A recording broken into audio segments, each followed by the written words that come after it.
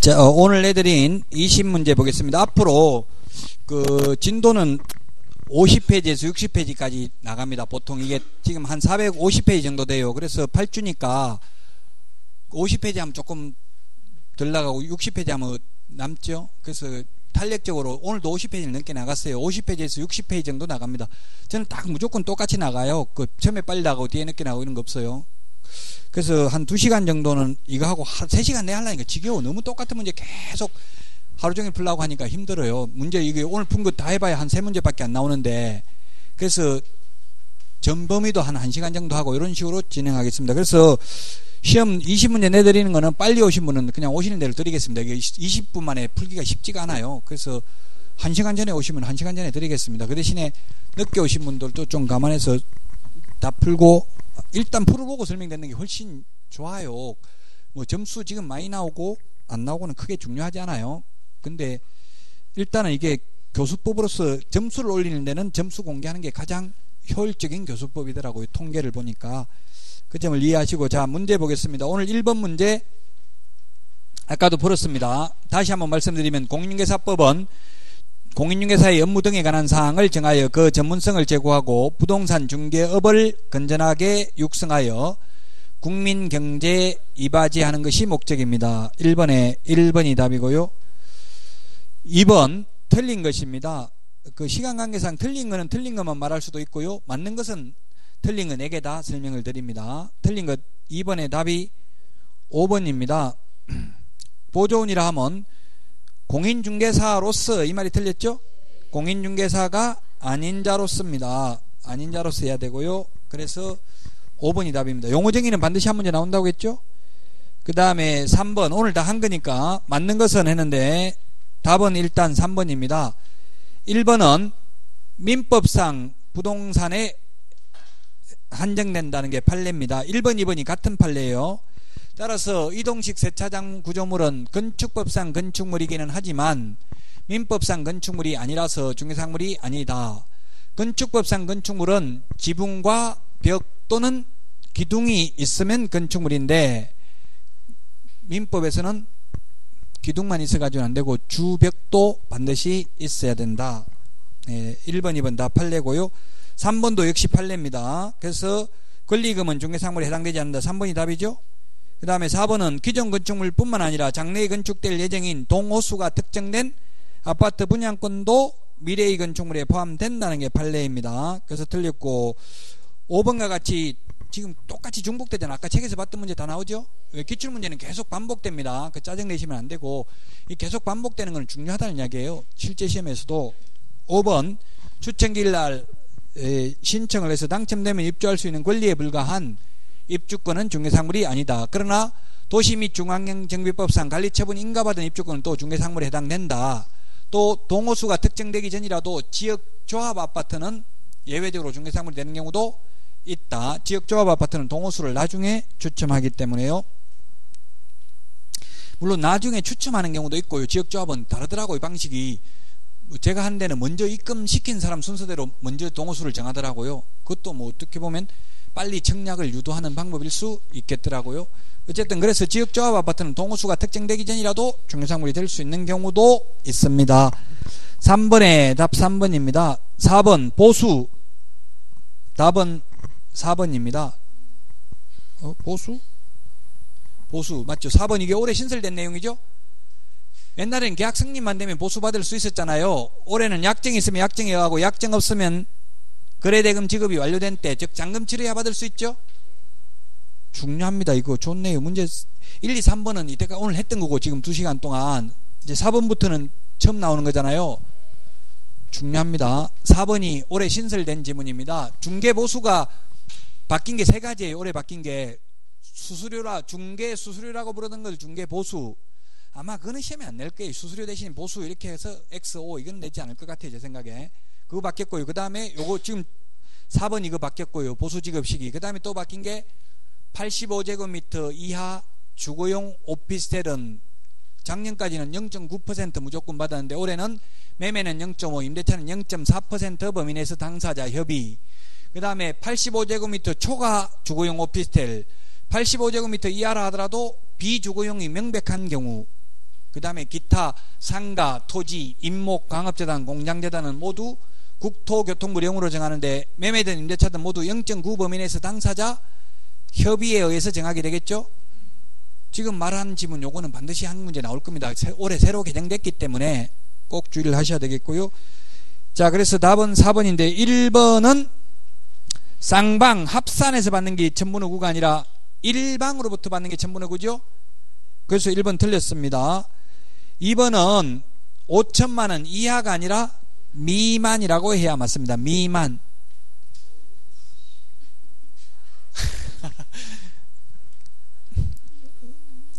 이런 걸 한번 틀려 보시면 이제 더 확실하게 알 수 있습니다.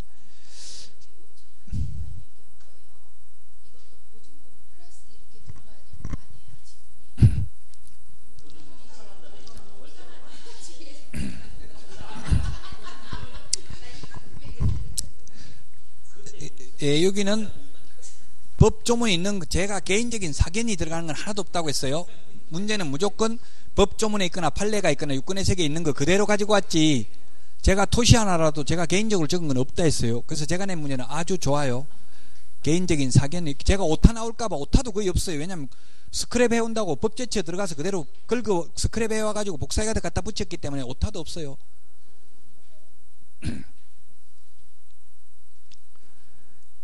2번 그래서 틀렸고 3번은 뭐 때문에 틀렸어. 3번은 주택인 경우가 아니라 주택 외인 경우 외자가 하나 안 들어가서 틀렸습니다.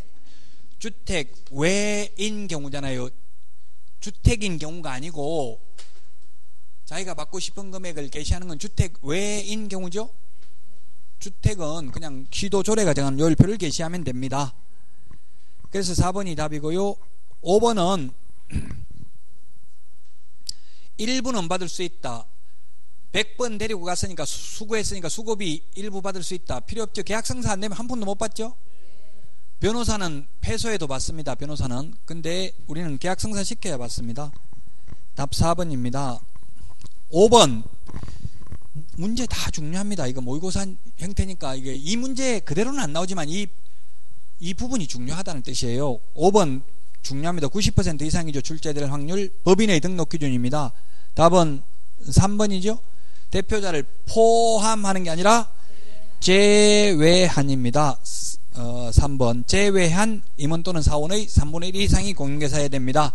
자 그러면 대표이사를 포함해서 임원이 총 3명이면 공인중개사는 최소한 몇 명 이상 해야 됩니까? 대표자 포함해서 3명이라고요. 그러면 1명, 2명, 3명, 최소한 공인중개사는 몇 명이어야 하냐고요?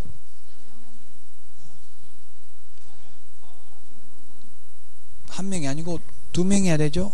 두 명. 대표이사 공인계사 나머지 두 명의 3분의 1 이상이 공인계사여야 되니까 2명의 3분의 1은 0.66666인데 사람 대가리를 0.6으로 쪼갤 수는 없잖아요. 그래서 한 명, 대표자 한 명, 합하면 두 명.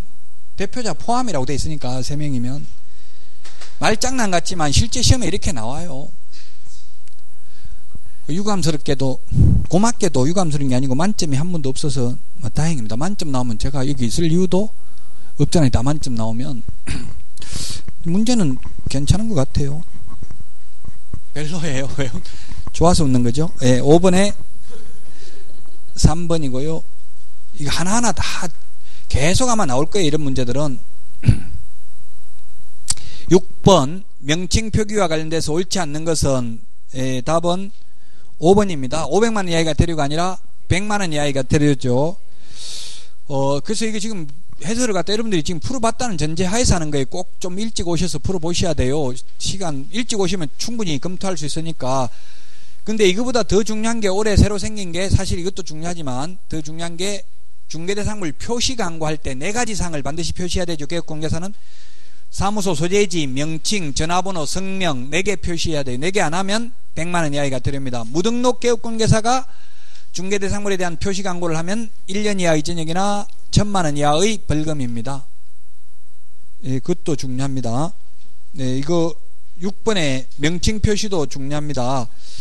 예, 그 개업 소속 공개사 성명은 간판에 적을 필요 없죠. 근데 소속관계사 자격증은 사무실에 게시해야 돼요. 반드시. 그리고 소속관계사는 그 업무를 수행한 경우에만 서명 및 날인하면 됩니다. 업무 수행 안 했는데도 무조건 서명 및 날인해야 되는 거 아니죠? 소속관계사 성명을 중개대상물 광고할 때 표시할 필요 없습니다. 물론 개업관계사 성명 표시하고 소속관계사 전화번호를 추가로 적었다 하더라도 위반은 아니라고 해석하고 있습니다.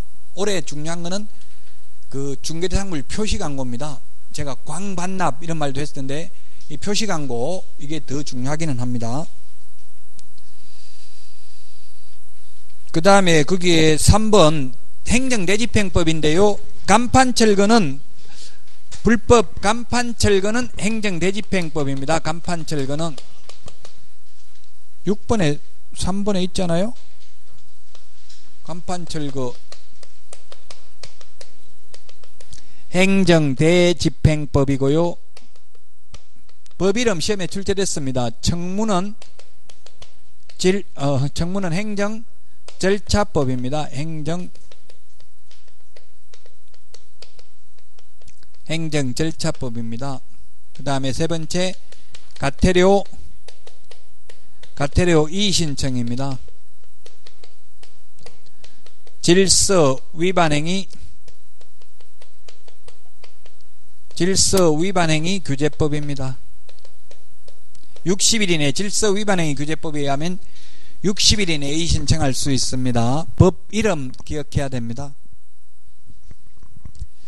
6번의 답 5번이 되겠고요. 그 다음에 7번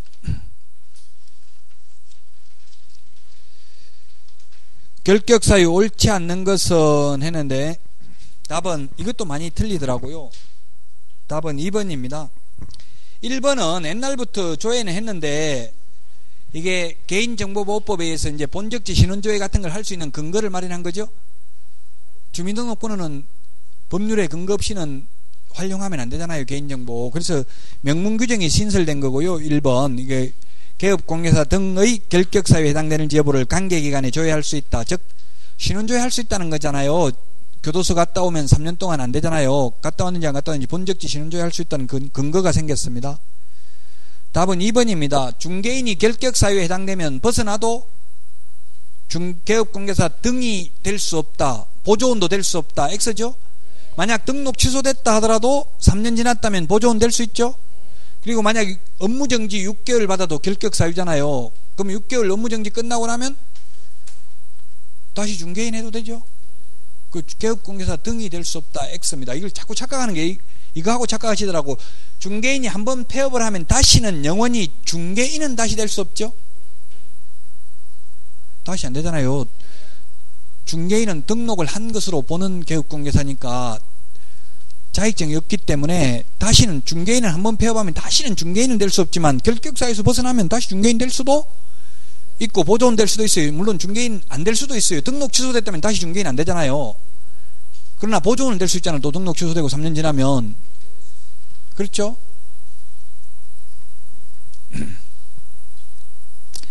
예, 그래서 7번에 답 2번이고요. 3번도 또 헷갈려하고 질문하신 분 많더라고요.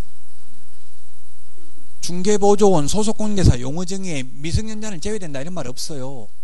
미성년자 고용하면 안 돼요. 고용해도 되냐 안 되냐 물으면 안 되는데 만약에 고용을 했으면 그에 대한 책임은 개업공개사가 져야 된다 이 말이에요. 쉽게 말하면 왜냐하면 법 15조 2항에 이거 옛날에도 문제 냈었어요. 이거 OX 문제에도 법 15조 2항에 보면 소속공개사와 중개보조원의 업무상 행위는 그를 고용한 개업공개사의 행위로 본다라고 돼 있어요. 그러면 중개보조원도 아니고 미성년자는 만약에 소속공개사도 아니라면 개업공개사 행위로 보지 않기 때문에 책임도 지지 않습니다. 그럼 미성년자 고용하지 말라고 했는데 미성년자 고용해가지고 미성년자가 잘못하면 아무도 책임질 사람이 없잖아요. 미성년자 본인이 책임져야 되잖아요. 그래서 보조원이라고 고용하면 안 되는데 고용했다면 보조원의 용어정의에 미성년자는 제외한다 이런 말 없죠? 보조원은 그냥 공인중개사가 아닌 자로서 개업공개사에 소속되어 현장 안내 및 일반 서무 등 단순한 업무를 보조하는 자를 말한다. 여기까지만 있지. 다만 결격 사유에 해당되는 자는 그러하지 아니하다 이런 말 없잖아요. 미아 씨는 뭐 했어요? 몇 번 했어요? 8번. 그때도 이거 모르더라고. 그때도 이거 몰라가지고 했는데 또 못 틀렸어요. 똑같은 걸한 여덟 번 틀려봐야 맞추더라고요. 자, 그 다음에 4번입니다. 4번.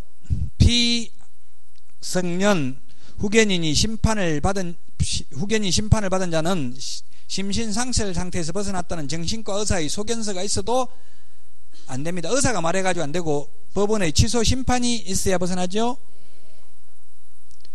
5번 좋아요. 문제 아주 좋아. 이거 5번도 5번 이거 별로 안 들어봤죠? 형법 제 38조에도 불구하고 이법 제 48조 및 49조 규정된 죄와 다른 죄의 경합범에 대하여 벌금형을 선고하는 경우 이를 분리하여 선고해야 한다. 이게 명문 규정이 있어요. 이게 왜 그러냐면 경합범이라는 것은 겸 한자를 보면 경쟁적으로 합했다, 합하다 이 말이죠. 죄를 여러 개 지었다고요. 이런 게 어떤 경우가 있었냐면 실제 개업 공개사가 세입자들한테 전세로 받아가지고 주인한테는 월세라고 주고 나머지 계속 돌려막기 하다가 50억 해먹고 도망갔어요. 잡혔어요. 잡히니까 사기죄, 공인회사법 위반 여러 개로 경합범으로 기소됐어요. 그 사기죄가 더 벌, 무겁잖아요. 우리 공인회사법에 가장 무거운 게 3년 이하의 징역이나 2천만 원 이하의 벌금밖에 안 되잖아요. 사기죄는 더 크거든요, 제가. 그래서 만약 벌금형을 선고하려면 사기죄 벌금 천만 원, 공인회사법 위반 벌금 200만 원 이렇게 분리해야 된다고요. 원래 경합범인 경우는 가장 무거운 죄의 2분의 1을 가중할 수 있거든요. 만약에 사기죄가 벌금 5천만 원, 만약에 예를 들자면 그렇다는 얘기예요. 그뭐 공인중개사법 진역, 어, 공인중개사법 벌금 1천만 원 이러면은 그냥 이거는 아예 빼버리고 이거의 가장 무거운 게 5천만 원, 이게 2,500만 원, 2분의 1 더하면 그럼 7,500만 원 범위 내에서 벌금을 부과할 수 있다고요. 경합범인 경우는 가장 무거운 죄의 2분의 1을 가중해서 하나만 부과할 수도 있다고 이것저것 여러 개 경합범인 경우 뭐 판사가 선고할 때 뭐 공인중개사법 위반 얼마다, 자기죄 위반 얼마다 이렇게 줄줄 안 하고 그냥 사형성 그 뭐 살인도 하고 나머지 절도도 하고 이렇게 했으면 그냥 살인죄 위반으로 사형을 선고한다 이렇게 해버린다고요. 근데 이거 벌금을 선고할 때는 반드시 분리해야 된다. 그 이유가 공인중개사법 위반으로 300만 이상 벌금 받아야 결격 사유잖아요. 사기죄 위반으로 벌금 받아도 결격 사유 아니죠? 그래서 벌금 선 이게 법조문에 있는 말이에요. 이게 벌금을 선고할 때는 반드시 공인중개사법 위반으로 벌금 얼마 또 다른 법 위반으로 벌금 얼마 이걸 분리해서 선고해야 된다. 원래는 형법 38조는 경합, 경합법은 분리 안 하고 가장 무거운 죄의 2분의 1을 가중해서 부과할 수 있다 이 말이에요. 경합범이 무슨 말인지 모르면 인터넷에 검색해 보시면 나오겠죠. 제가 한자까지 다 넣어놨어요. 헷갈릴까 봐. 근데 한자 뭐 제가 이게 컴퓨터 친 게 아니고요. 그냥 법제처에서 그냥 그대로 복사해 오니까 이렇게 한자까지 다 돼 있더라고. 솔직히 말하면 7번에 답이 2번입니다. 8번 매수 신청 대리인 등록 등에 관한 설명으로 옳지 못한 것은 아 매수 신청 대리하고 중개사무소 개설 등록 두 개 합해 가지고요. 옳지 못한 것은 답은 4번이죠. 7일 이내에 교부하는 게 아니고 며칠 이내에요? 즉시 X 지체 없이 합니다. 지체 없이 지체 없이 등록증 교부는 지체 없이고 등록 처분 통지가 지체 없이죠. 이거 다음 주 다음 주 문제에 나오겠네요. 등록 처분 통지는 7일이고 교부는 지체 없이라고요.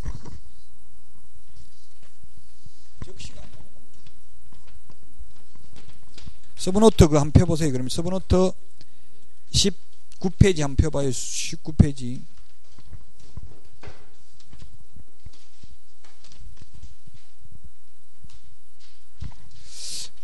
23페이지에 있네. 23페이지. 23페이지에 맨 밑에서 한 여섯 번째 줄에 7일 이내에 등록을 하고 신청인에게 서면으로 통지하죠. 통지하고 24페이지 보세요. 24페이지에 맨 위에 보니까 24페이지에 맨 위에서 며칠 이내에 한다는 말은 없네. 그 기억에 보니까 등록증 교부 전에 등록 관청 확인 사항, 보정 설정 여부 이렇게만 돼 있죠. 그 보정 설정 여부하고 설정 확인하고 지체 없이 교부합니다. 그 보정 설정 여부 뒤에다가 지체 없이 교부라고 적어요. 그러면 24페이지 서브노트 맨 위에서 다섯 번째 줄에 등록증 교부 전 등록 관청 확인 사항 이렇게 돼 있죠.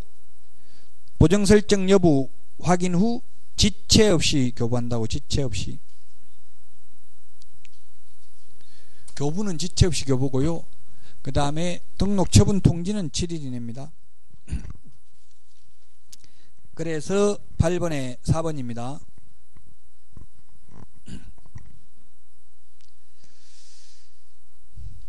이거 차이점 그 3번에 있는 것처럼 3번, 2번, 3번 중개사무소 개설 등록은 등록관청 매수신청 대리인 등록은 지방법원장이죠. 예. 그 다음에 5번에 매수신청 대리 수수료는 공개사 2만원 법인은 3만원인데 중개사무소 개설 등록 수수료는 지자체 조례 가정하는 수수료잖아요. 그 다음에 8번에 1번은 매수 신청 대리인 등록은 미리 보정 설정해야 되고 중개사무소 개설 등록은 미리 하는 게 아니라 등록 처분이 있고 나서 등록되고 나서 보정 가입해야 되죠. 무등록 계획공개사는 보정 가입을 못 합니다. 보정 설정 시기가 다르죠. 그래서 8번 문제도 좋습니다. 9번에 옳은 것은 답이 3번입니다. 3번. 옛날에는 주택법상 사업계획 승인 대상이 아닌 것만 분양대행이 가능했고 주택법상 사업계획 승인 대상인 것은 미분양만 분양대행이 가능했습니다. 지금은 세대수와 호수와 실수와 상관없이 단독주택은 호, 공동주택은 세대, 오피스텔은 실이라고 하잖아요. 몇 실, 40실 이렇게 하죠. 그 상관없이 가능합니다. 4번이 3번이 답이고요. 1번은 소위 중개인이잖아요. 1번, 2번 중개인이 정모망에만 가입했다고 당연히 전국으로 확대되는 것도 아니고요. 공동중개해도 공동사무소 사용해도 당연히 전국으로 확대되는 것은 아니죠. 3번이고요. 4번 지역농협은 예, 특수법인은 우리 법 제 14조 겸업할 수 있는 걸 못한다고요. 즉 경공매 매수 신청 대리 같은 것은 특수법인은 못하죠. 지역농협은 조합원을 대상으로 농지 매매 교환 임대차 중개 플러스 농협 업무만 할 수 있습니다. 그래서 다른 업무는 못한다고요. 특수법인. 특수법인은 그 특별법에서 정하고 있는 업무만 해요. 특수법인이 경공매 매수 신청 대리라든지 분양대행 이런 거는 못한다. 그 다음에 5번 공인중개사인 개업공개사나 부칙 제6조 2항의 개업공개사는 경공매 매수 신청들이 할수 있다 없다 다 X죠 중개인은 매수 신청들이 못하잖아요 중개인하고 법부칙 제6조 2항의 규정에 의해서 개설 등록을 한 것으로 본 개업공개사 같은 말이죠 소위 중개인 중개인은 경공매 매수 신청들이 못하고요 공인중개사인 개업공개사와 법인인 개업공개사는 할 수 있습니다 그래서 9번에 답 3번이고요 10번 옳지 않는 것은 답은 5번인데요. 이것도 질문을 많이 하시더라고요. 5번이 답입니다. 어, 손해배상 요건은 세 가지잖아요. 손해배상은 첫 번째 개업 공개사의 고의 또는 과실이 있거나 그 다음에 세 번째는 중개행위 장소를 제공한 경우 이렇게만 법조문에 이렇게만 돼 있어요. 법제 30조에는 그런데 고용인의 고의가실이 있어도 손해배상을 합니다. 이건 어디에 있냐면 법 15조 2항 고용인의 업무상 행위는 그를 고용한 개업공개사의 행위로 보니까 개업공개사의 고의가실이 있는 거나 마찬가지이기 때문에 손해배상을 한다고요.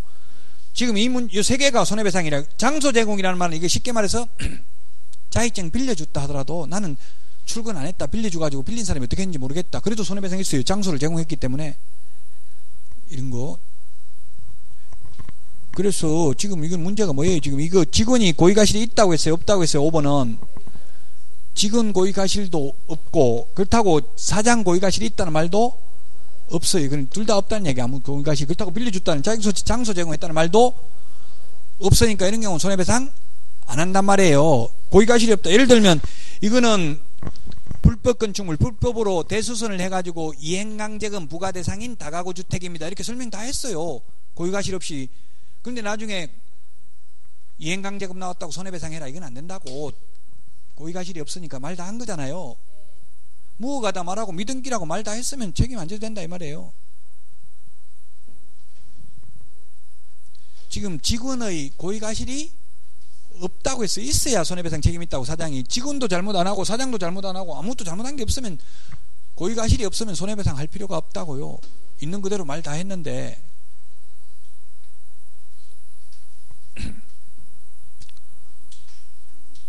오번입니다그 3번 예방교육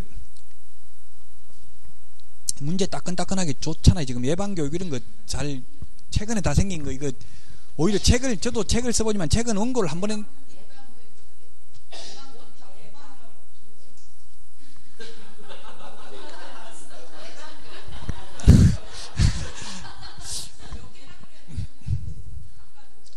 아 이거는 이거는 그대로 가져온 게 아니고 제가 좀 감정이 개입됐네.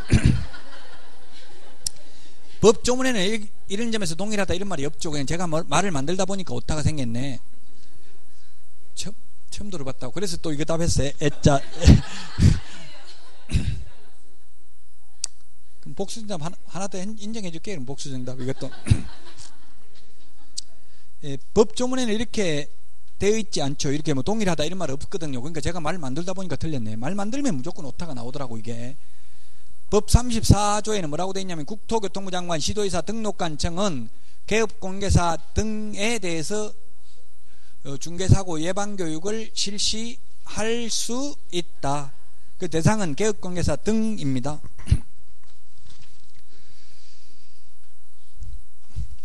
다른 학원에서는 이거 오타 하나도 발견 못했는데 실력이 때. 아, 수업을 처음 듣는다고요? 태어나서 오늘 제가 강의 처음 들어요? 야, 1월 달에 한 번 듣고 지금 왔는데 이걸 오타를 다 골라낸다니까 괄목 상대할 만큼 실력이 있으신 것 같아요. 자, 그래서 5번이 답이고요. 그 다음에 11번 틀린 것은 했는데 예, 답은 4번입니다. 중개 보수 영수증은 보존 의무도 교부 의무도 없죠. 매수 신청 대리 수수료 영수증은 교부 의무는 있지만 보존 의무는 없다. 아까 이거 11번에 1번 30만 원이 맞냐고 했는데 확인해 보셨어요? 30만 원 맞죠? 예, 실비 30만 원입니다. 50만 원에 50만 원은 상담 및 관리 분석 수료 50만 원이고요. 매수인이 되지 못한 경우 50만 원이고요. 매수인이 된 경우는 감정가 1% 또는 최저 매각 가격의 1.5% 중에서 당사자 합의에 의해서 받을 수 있습니다. 이 30만 원도 무조건 받는 게 아니라 거기에 2번에 있는 것처럼 원거리 교통비, 원거리 출장비는 받을 수 있고 근거리 교통비나 등기부 등본 비용은 받을 수가 없습니다. 답 4번이고요. 5번 이거 판례입니다. 5번 판례 이거는 제가 핵심 정리 판례 지문 여기 판례 다 나가니까 무료로 하는 거 보수를 안 받아도 초과해서 받는 건 위반이지만 자기 권리를 포기하는 것은 위반은 아니다. 안 받는 것은 위반이 아니다.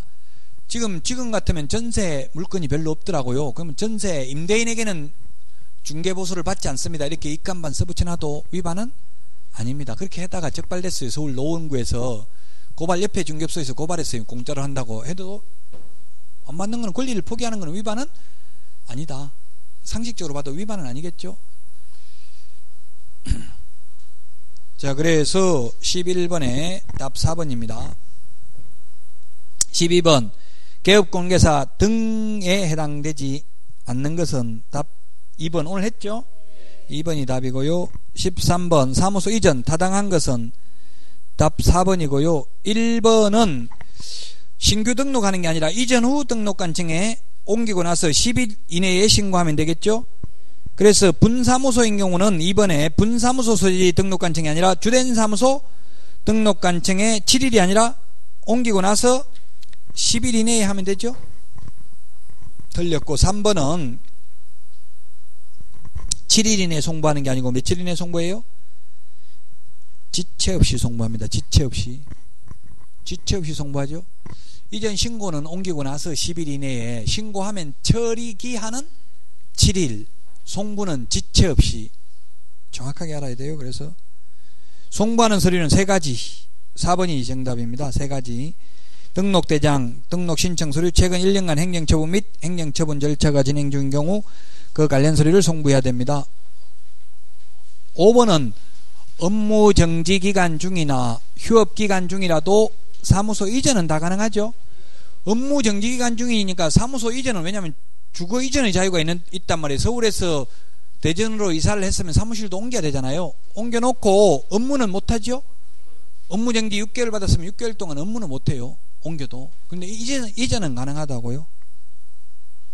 14번 인장 등록 옳은 것은 답은 4번입니다.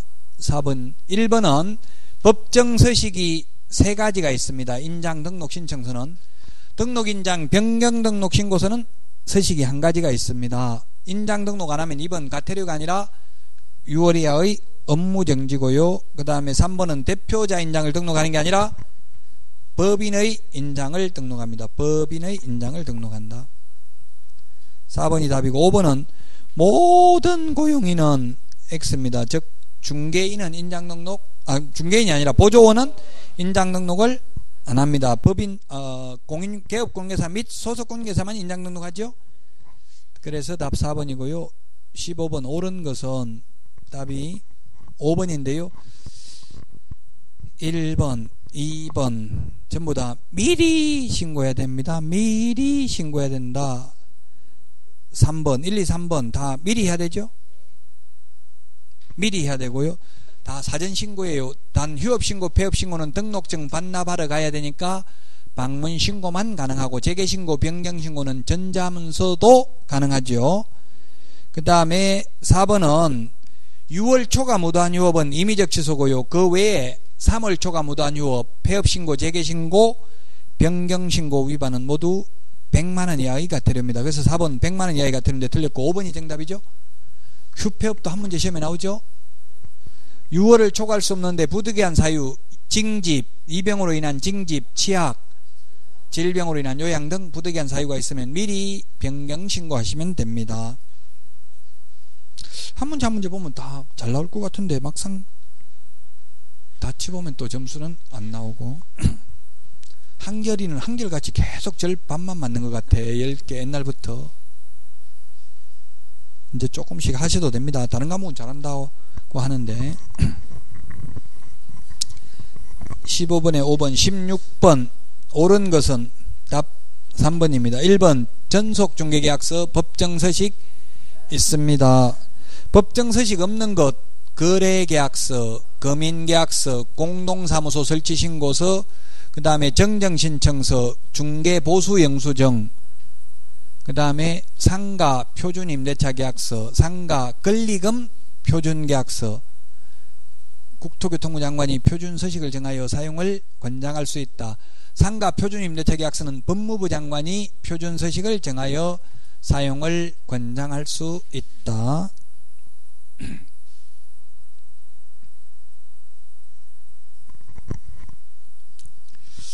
2번 유효기간은 원칙 3월 예외 당사자 약정이다. 그래서 틀렸고요. 3번은 정보망 또는 일간신문 맞죠? 4번은 일주일에 2회 이상이 아니라 2주일에 1회 이상이고요. 그 다음에 5번은 5년이 아니고 3년입니다. 17번은 답이 4번이죠. 5 빼기 2는 3이라고 했어요. 500명, 2개 이상 30명, 공인중개사 1인, 정보처리기사 1인 이상이 있어야 됩니다. 용량과 성능을 갖춘 컴퓨터 설비 있어야 됩니다. 거래정보사업자 지정요건입니다. 이때 개업공개사 500명 등록증 사본 첨부해야 되죠. 그 다음에 매수신청 대리인 등록 신청할 때도 아 등록증 사본 첨부가 아니라 아 등록증 사본 첨부 맞네요.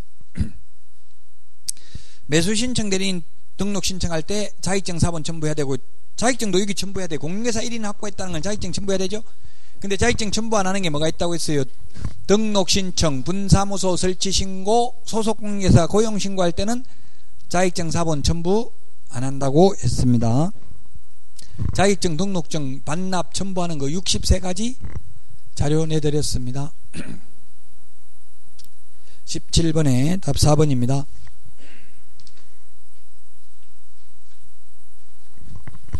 18번, 5번인데 18번도 한 문제 나옵니다. 계약금 등의 예탁금 제도. 계약금 등에는 계약금, 중도금, 잔금도 포함되죠. 강행 규정이 아니고 임의 규정으로 도입됐다. 거래의 안전을 위하여 필요한 경우 개업공개사는 거래 당사자에게 계약금 등을 예치하도록 권고할 수 있다. 계약 이행이 완료될 때까지 예치 명의자 7명, 예치 기관 3명, 반환보정서 발행 기관 2명입니다. 스모노트에 다 있으니까 필기 하지 말고 그냥 말로만 하겠습니다. 개업 공개사 명의로 예치할 수 있고요. 그 다음에 은행법에 의한 은행, 공제사업을 행하는 자, 그 다음에 신탁업자, 채식완섭, 보험업법에 의한 보험회사, 계약 이행 관리 전문 회사 명의로 예치할 수 있는데 다만 개업 공개사 명의로 예치했을 경우에는 개업 공개사는 자신의 예치금과 계약금 등을 분리하여 관리해야 되며 거래 당사자의 동의 없이는 예치된 계약금 등을 인출하여서는 아니 된다. 예치기관은 금융기관, 공제사업을 행하는 자, 신탁업자 세 군데, 반환보증서 발행기관은 금융기관, 보정보험회사 두 군데 암기해야 되겠습니다. 그래서 답은 5번이죠. 19번 옳은 것은 답 3번입니다.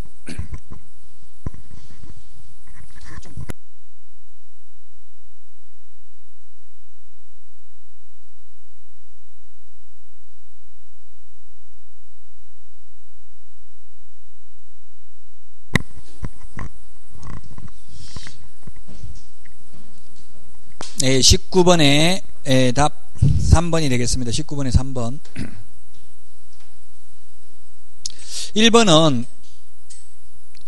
개업공개사 등이 아니라 개업공개사와 소속공개사고요. 그 다음에 어, 2번은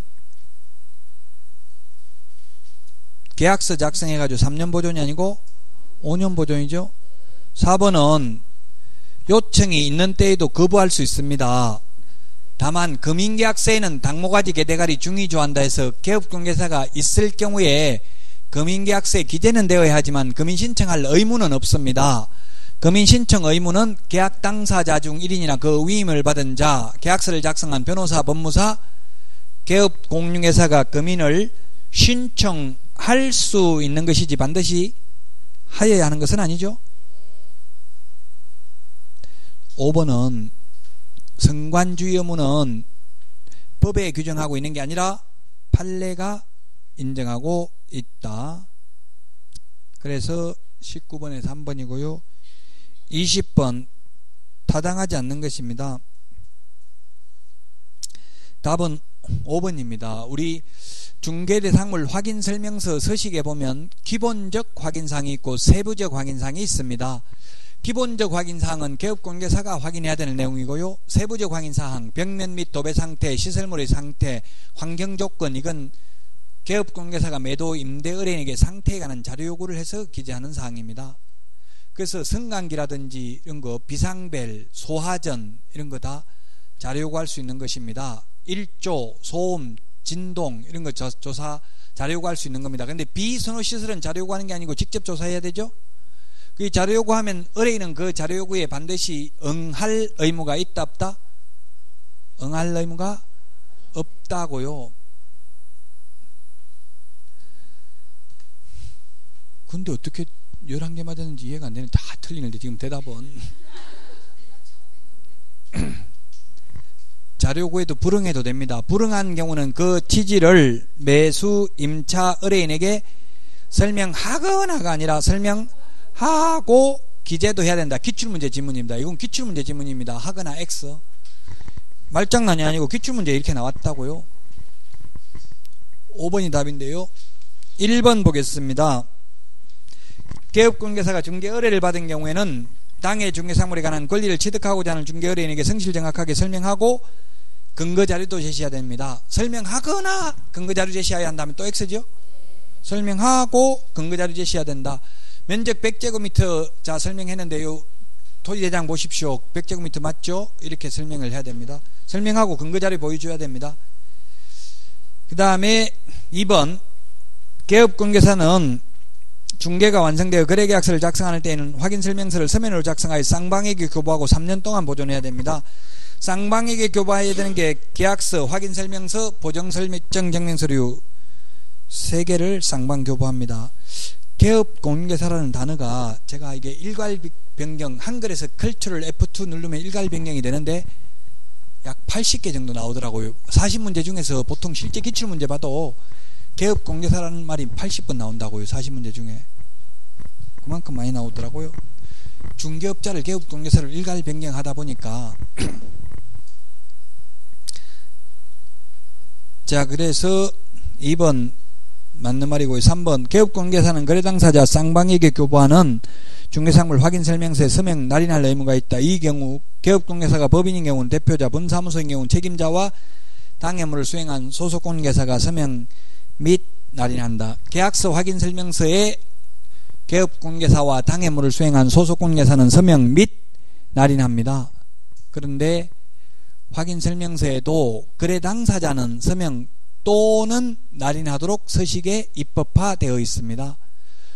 그 외의 서류 부동산 거래 신고서나 나머지 뭐 주택 거래 신고서, 사무소 이전 신고서, 전속 중개 계약서 등등은 전부 다 서명 또는 날인이다. 그것도 개업 공개사만 소속 공개사는 서명 또는 날인도 할 의무가 없습니다. 4번 확인 설명서 3년 보존해야 된다. 보관이라는 말 없고 전부 보존입니다. 보존 의무화 보존은 보기 쉬운 곳에 계시는 보기 쉬운 곳에 계시해야 되고 보존은 안 보이는 곳에 보존해도 됩니다. 그래서 중개 대상물 확인 설명서 서브노트에 있습니다. 필기 여러분들은 안 해도 됩니다. 그대로 있는 겁니다. 확인 설명서 전속 중개 계약서는 몇 년 보존해야 된다고요? 예, 3년 보존입니다. 3년 보존. 그 다음에 거래계약서 5년 보존입니다. 이건 공인중개사법에 보존하는 건 이렇게 세 개밖에 없어요. 그런데 매수 신청 대리와 관련한 게 세 개 더 있습니다. 매수 신청 대리 사건 카드 그 다음에 매수 신청 대리 대상물 확인 설명서입니다. 중개 대상물 확인 설명서는 3년 보존인데 매수 신청 대리 대상물 확인 설명서는 5년 보존입니다. 매수 신청 대리 업무정지 등록주소 등 행정처분 대장은 5년 보존입니다. 5년 보존입니다. 제가 한국 강의하는 학원 중에서 여러분들 실력이 최고 나아요. 공인중개사법. 모의고사 지금 점수 안 나왔더라도 아직도 지금 시험이 110일 넘게 남았죠. 지금 며칠 남았는지 알아요? 혹시? 며칠? 저 아는 학생 안 나왔네요. 오늘.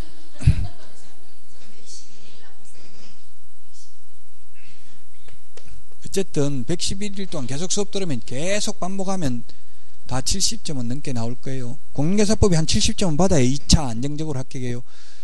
민법만큼 똑같이 공부했을 때 이게 가장 쉽다는 거지 공부 하나도 안 해도 점수 나온다는 뜻은 아니에요. 상대적으로 다른 거하고 똑같이 공법만큼 열심히 하면 이것도 그거보다는 점수밖에 훨씬 쉽다는 이야기예요. 그러니까 쉬운 걸 점수 잘 받아야 돼요. 쉬운 거는 점수 안 나오고 맨날 어려운 것만 잡고 있는 어리석은 누를 범하지 마시라고요. 골고루 다 하셔야 돼. 그래서 자 그런데 매수 신청 대리 수수료 매수 신청 대리는 보수라고 안 하고 아직도 수수료라고 하고 있어요. 매수 신청 대리 수수료 영수증은 교부는 해야 된다. 법정 서식이 있기 때문에 그러나 보존할 의무는 없다. 보존 의무가 따로 없어도 사건 카드에 기록해서 사건 카드를 5년 보존합니다. 근데 중개 보수 영수증은 중개 중개 보수 영수증은 교부할 의무도 없고 보존할 의무도 없습니다. 없지만 사실상 확인 설명서에 산출 내역을 기재해서 3, 년 보존하고요.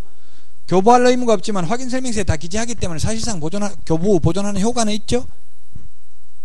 근데 일반 중개 계약서는 보존 의무가 없습니다. 게시해야 되는 거는 보기 쉬운 곳에 게시해야 되는데 네 가지다. 등수 보자. 몇 등인지 보자. 등록 중개사무소 등록증 원본입니다. 사업자 등록증 원본 X로 출제됐습니다. 중개 보수열표 보정 설정 증명 서류 자격증 원본입니다. 등록증 원본입니다. 원본 4번 X로 출제됐습니다. 남은 거 빌린 사람 4번 많이 해놔요. 복사해가지고 사진 보이지도 않게 그렇게 하면 오히려 의심해요. 자격증 원본인데 소속 공인회사 자격증도 게시해야 되죠 있으면? 소속 공인회사 자격증은 게시는 해야 되는데 간판에 소속 공인회사 이름 적을 필요는 없다고 했어요. 중개사물 표시 광고할 때도 소속 공인회사 성명은 안 적어도 됩니다. 서명 날인도 당해물을 수행한 경우에만 하시면 되겠습니다. 서브노트도 가져오시고요. 오늘 틀린 문제 한 번 더 꼭 검토하시고요. 조금은 복습하셔야 돼요. 예습 복습 조금씩 하고 시간 남으면 다른 과목 하셔야 돼요. 이제 자 다음 주에 찾아뵙고 오늘 여기서 마치도록 하겠습니다. 수고하셨습니다.